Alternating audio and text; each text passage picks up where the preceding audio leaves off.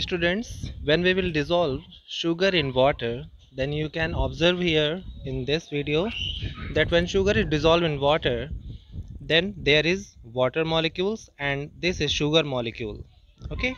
So sugar molecule will get dissolved in that water molecule because water molecules are continuously moving. So it will strike with the sugar molecule and it will get dissolved easily okay? And here you can observe that water molecules surrounded the sugar molecule particles of sugar is surrounded by the water molecules. Because water molecules have a space so it can adjust that eight particles of the sugar easily. Okay now you can observe that they are adjusted and sugar molecule is disappears now. Okay it is dissolved now completely.